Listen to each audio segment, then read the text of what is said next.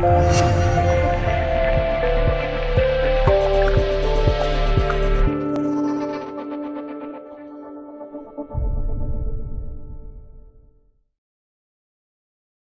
日，网上流传一段视频，视频中显示，一男一女两名高中生在晨会上，因为早恋向全校师生做检讨。突然间，男生把话筒一扔，抱起了身旁的女神，开始强吻。